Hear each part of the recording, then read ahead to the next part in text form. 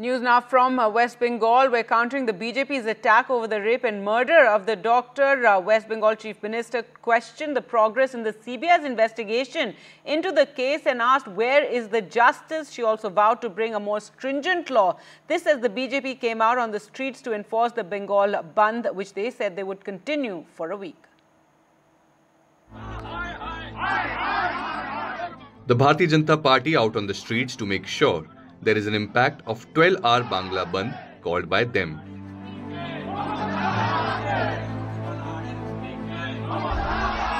As the BJP attempted to block roads and rail traffic, the police stepped in.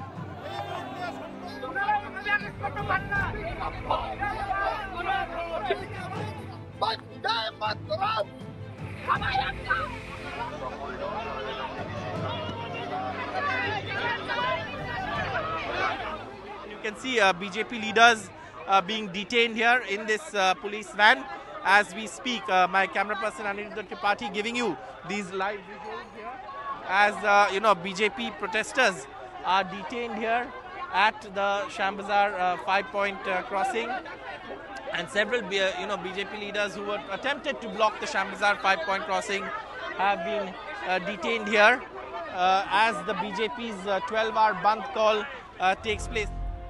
This as the TMC organized its Student Wings Foundation Day, event which Mamata Banerjee dedicated to the victim of the brutal rape and murder at RG Kar Medical College and Hospital. But with the Calcutta High Court dismissing a plea against the Bandh on grounds that the petitioner was debarred from filing public interest litigations. Mamata Banerjee hit out at the judgment and asked lawyers not to cede space to the BJP in court.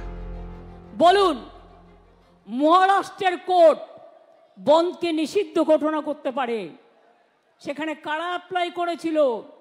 বন্ধ দেখেছিল বিরোধী দল। Maharashtra high court বললেন বন্ধ দিল্লিগাল বন্ধ হবে না। Kerala high court তার আগে বন্ধকে নিষিদ্ধ করেছেন। আরও অনেক কোর্ট করেছেন।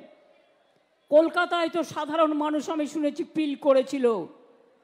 আপনাদের উচিত ছিল না একটু নড়ে চড়ে বসার আমি আইনজীবীদের বলবো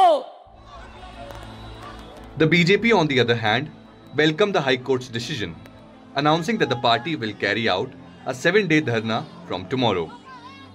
It is quite sur surprising to us because Mamta Banerjee, if you can remember, she was the pioneer of calling the bandh and the strike in the, strike in the state in everything, every incident, when, when she was the opposition leader, at that time, he called so many strikes. So it was her habit to call strike in each and each, even a minor incident happened. In that case also Mamata Banerjee called strike and now the same Mamata Banerjee has changed her voice and he is accusing BJP as well as the court, Honorable Calcutta High Court. Under attack from opposition and with genuine public anger against the RG Kar Medical College and hospital rape and murder, the Trinamool strategy now is to attack the BJP, accusing them of deliberately politicizing a sensitive issue, as they haven't been able to defeat the Trinamool in the state. The Trinamool says that the BJP has conveniently shifted the goalpost from demanding speedy justice in the rape and murder case to demanding the Chief Minister's resignation.